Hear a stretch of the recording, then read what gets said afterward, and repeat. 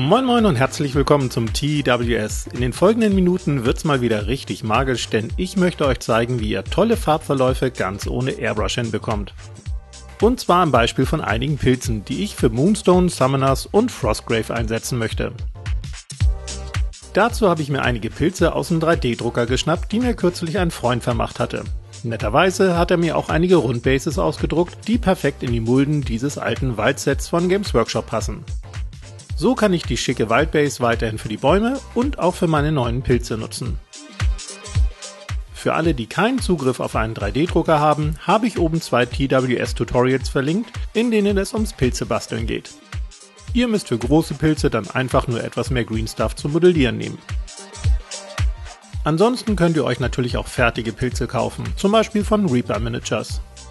Eine Auswahl von Links findet ihr in der Videobeschreibung, ebenso die Links zu den 3D-Druckdateien. Apropos 3D-Druck, manchmal sind die ausgedruckten Flächen ja arg glatt, vor allem wenn man die Objekte stark vergrößert hat. In dem Fall empfehle ich transparente Modellierpaste, die sich unverdünnt auftragen und verstreichen lässt, um wie hier eine rindenähnliche Struktur zu erzeugen. Oder man nimmt einen feuchten Pinsel, um wellige Oberflächen zu modellieren. Danach erstmal das übliche. Leim auftragen, ein paar Steinchen platzieren, Sand drüber streuen, trocknen lassen und grundieren. Dazu habe ich Corax White von Games Workshop verwendet. Und dann kann es auch schon mit der Bemalung losgehen. Ich bereite zunächst ein helles Sandbraun für die Pilzstiele und ein Erdbraun für die Bodenbereiche vor. Zuerst werden also nur die Stiele und dann der Boden bemalt. Reibt dann kurz euren Pinsel trocken und verblendet danach die Übergänge zwischen Stiel und Boden. Dazu genügen einfaches Tupfen und kurze Streichbewegungen.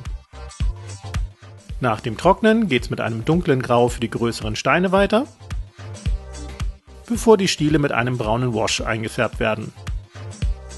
Auf den Boden kommt dann ein schwarzer Wash, wobei ihr gerne auch ein wenig schwarzen Wash in die unteren Bereiche der Stiele für einen nassen Nassverlauf tupfen könnt. Nach dem Trocknen dann alles wie üblich mit helleren Farben trockenbürsten bzw. trockentupfen.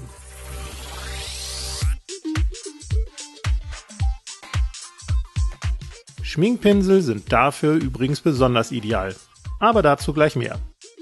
Das war's dann auch schon mit der Vorarbeit und jetzt wird's richtig bunt. Schnappt euch ein paar knallige und kräftige Farben und sortiert davon einige zu Zweiergruppen. Das kann mal ein heller und dunkler Farbton sein oder zwei Farben mit einem interessanten Kontrast. Mit jeweils einer dieser Zweierfarbgruppen werden die Lamellen der Pilze bemalt, also die Unterseiten der Hüte bzw. Kappen. Die dunklere Farbe ist die Grundfarbe, mit der zweiten wird trocken gebürstet und auch die oberen Bereiche der Stiele werden mit der zweiten Farbe noch etwas trocken gebürstet, um einen interessanten Farbübergang zu schaffen. Spätestens jetzt solltet ihr euch einen weichen Rundpinsel schnappen, idealerweise einen Schminkpinsel. Denn Schminkpinsel sind ideal fürs Trockenbürsten und fürs Tupfen von weichen Farbverläufen. Mehr zu diesem Thema habe ich euch oben verlinkt. Nehmt eine Farbe eurer Wahl, wobei es ein mittlerer bis dunkler Ton sein sollte. Bemalt gegebenenfalls erstmal damit einige Ecken der Pilzhüte bzw. Kappen, bevor ihr mit dem Schminkpinsel auf die Flächen neben den Lamellen tupft. Nehmt dann eine zweite Farbe und davon etwas in euren Schminkpinsel auf. Durch das Verreiben der neuen Farbe vermischen sich beide Farben im Pinsel und ihr bekommt beim Tupfen dadurch schon einen weichen Farbübergang. Genau so macht ihr dann Farbe für Farbe weiter, wobei die Farbtöne immer heller werden sollten. Denn wie beim Trockenbürsten ist es einfacher, von dunkel nach hell zu arbeiten. Kleinere Details werden natürlich mit einem feineren Pinsel bemalt. Habt ihr nach ein paar großen Pilzen den Dreh beim Tupfen raus, färbt die kleineren Pilze auf dieselbe Art ein.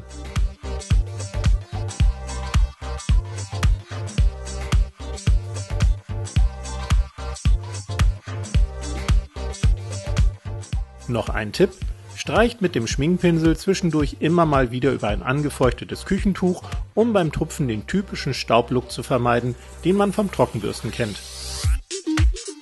Ganz nach Geschmack können die Hüte bzw. Kappen danach noch mit einem Seidenmatt oder Glanzlack versiegelt werden, damit die Farben besonders kräftig leuchten. Wer mag, kann dann noch etwas Bodenvegetation aufbringen. Ich habe mich für Flock und feines Turf entschieden, damit die Pilze gut zu meinen kürzlich gebauten Ruinen passen. Nach dem Versiegeln mit Tiefengrund oder einem Wasser-Holzleim-Mix aus dem Zerstäuber könnt ihr zum Beispiel auch noch Glitter aufbringen, damit's richtig magisch wird.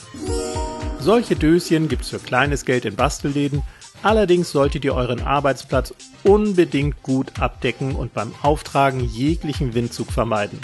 Denn sonst habt ihr das Zeug überall. Abschließend alles nochmal richtig gut mit Tiefengrund oder einem Wasser-Holzleim-Mix versiegeln, damit definitiv nichts von dem Glitter herunterrieselt.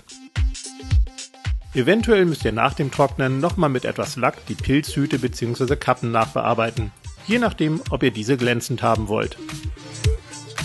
Danach wären die magischen Pilze dann auch schon spielbereit. Die Waldbase habe ich übrigens genauso bemalt und dekoriert wie die Pilzbases. Einzig auf den Glitter habe ich verzichtet, damit ich den Waldboden auch noch für normalen Bewuchs nutzen kann. Ich wünsche euch nun viel Spaß beim Nachtupfen, denn wie ihr gesehen habt, sind weiche Farbverläufe echt kein Hexenwerk. Wir sehen uns dann nächsten Freitag. Bis dann.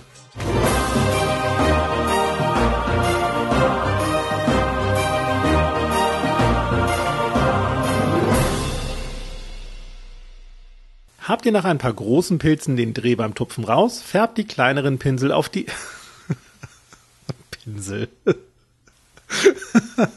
Pilze, Pinsel, alles dasselbe.